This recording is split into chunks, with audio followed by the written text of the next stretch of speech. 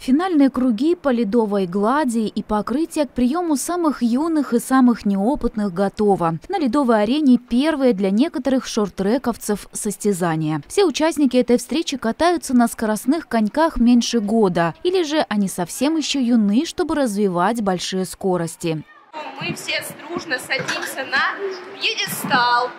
Не так, чтобы никому места не хватило, просто туда встали. Но на поле все, как у взрослых, напоминают тренеры. Строгое судейство, регламент и конкретно установленная дистанция для каждого спортсмена. У детей постарше нагрузка чуточку сложнее. Но зная технику, отрабатывают ее в ходе упорных тренировок. Задача решаемая.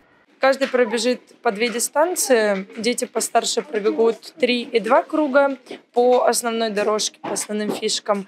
А самые маленькие, это 4-5 лет, э, пробегут э, два и один круг, но по более малому кругу.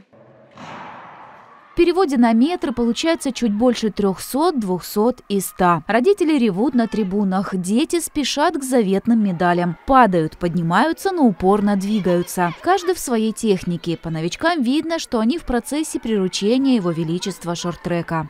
Я хочу занять первое место и победить всех. А расскажи, как давно ты занимаешься шорт-треком? Э, занимаюсь э, один месяц.